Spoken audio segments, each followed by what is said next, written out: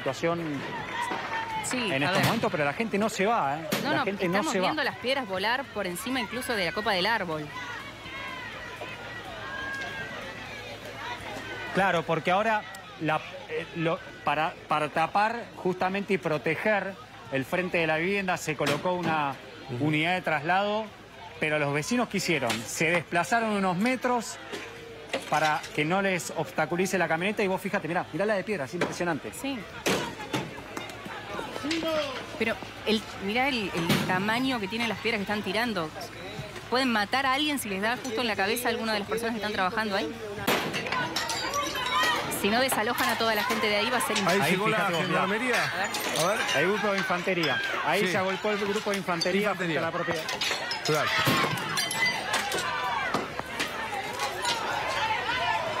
Cuidado, cuidado.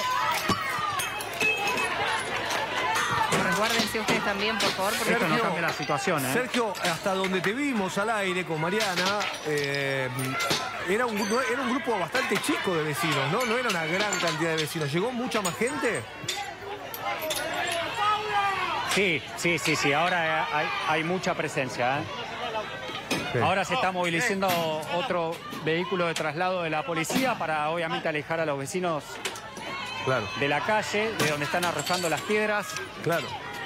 Porque, digo, no, Esto no hace cesar. ni siquiera un cordón policial en las esquinas. Digo, no pensaron ni siquiera algo tan elemental como hacer un cordón policial en las esquinas para que la gente no esté en la puerta del hotel, ¿no? Claro, además desalojar a la gente que estaba No, no. en medio de la No, calle. es que prácticamente la- cuando la gente llegó, cuando se empezó a agrupar un grupo considerable de la gente, ahí es que se hizo presente la policía de la provincia de Corrientes.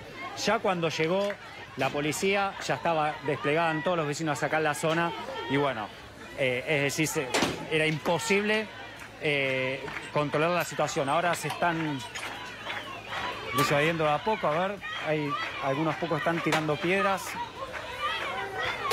Sigue la infantería ahí frente a, a la, a la vivienda, el portón de acceso, el portón no se ha vuelto a abrir. Se está calmando un poco la situación Sí, en a estos ver. momentos, pero la gente no se va, ¿eh? No, la no, gente no se va. viendo las piedras volar por encima incluso de la copa del árbol. Claro, porque ahora la- eh, lo- para, para tapar justamente y proteger el frente de la vivienda se colocó una unidad de traslado, pero los vecinos ¿qué hicieron? Se desplazaron unos metros para que no les obstaculice la camioneta y vos fíjate, mirá, mirá la de piedra, es impresionante. Sí. Pero el, mirá el, el tamaño que tienen las piedras que están tirando. Pueden matar a alguien si les da justo en la cabeza a alguna de las personas que están trabajando ahí. Bueno, ahí parece No, haber a- calmado a- la cantidad de piedras. fíjate, A ver, Sergio, Estamos viendo, han destrozado las ventanillas de- del frente, ¿eh? del hotel. Eh, me imagino los dueños del hotel muy contentos con, el- con- eh, con que eh, hayan sí, traído a sí, sí, sí. Laudelina. Recordemos que está Laudelina ahí en el hotel. No que a, para. Que a alguien se le ocurrió llevar, a- después de la, la declaración que hizo, se les ocurrió llevar a Laudelina a un hotel, ¿no? Después de declarar que al chiquito lo atropellaron y lo enterraron vaya a saber dónde. Después de decir eso, a la justicia la, la llevaron a un hotel. No, es impresionante. a un hotel. Yo no sé a quién se le ocurre. Eh, los fiscales están pidiendo, Sergio, la detención de la tía, ¿no? La que, que la detengan. Sí, quieren que vaya a declarar detenida, ¿eh? Fíjate ahí, Se suman efectivos al... se está desplazando la infantería. La Lo gente que grita. pasa es que, claro, fíjense ustedes, Sí. las piedras siguen, ¿eh? Por Sergio- momentos se calma, pero la gente no se va y siguen arrojando piedras. La gente grita algo que yo escuché desde la primera marcha, que piden que hablen. mierda que tenemos, la basura del gobernador que tenemos, la basura del gobernador que tenemos. Sí, Bueno, hay mucha bronca, ¿eh? Sí. Mucha bronca. También, sí. ¿Eh? Ahora que la policía se movió, parece que los piedrazos terminaron. O están en pausa, por lo menos. Sí, En la infantería, sí, perdón. no ahí se está reacomodando la, la infantería, exactamente. Y, y Sergio, pregunto, eh, nosotros, está- vos también, Mariana, has hecho muchas coberturas de estas. Lo primero que se hace no es primero correr a los vecinos antes de, digo, a los que están tirando piedras, no se los eh, corre, se vaya a la zona y después lo trasladás. Yo Sacar no a toda la gente del lugar, ¿o no? No, se, se los trata de, se los trata Franco de disuadir. No vimos que hayan detenido a nadie. pero vos fíjate, la gente no se va. Es decir, está este cordón policial, la gente sigue aquí.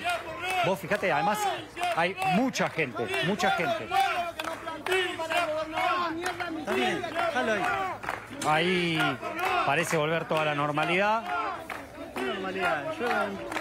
Piedra por todos Por lados. momentos. Se escucha ahí los aplausos, justicia por Loan, el grito, Sí. No, no, pero esto no. la cantidad de Evidentemente piedras. ya no es un lugar seguro para. Mirá, siguen cayendo piedras. Y el tamaño, además, Sergio, los cascotes que está Sí, Matías sí. Revela ahí haciendo el trabajo de mostrarnos todo lo que está pasando en el hotel, vidrios rotos, lo destruyeron el hotel. Sí, los móviles, también los móviles. Fíjate el parabrisas de los móviles. La Qué gente descarga la bronca también a los de la policía de la provincia de, de Corrientes, ¿no? Por del faltante. Bueno, la gente eh, nos dice, ¿no? Hay mucha bronca.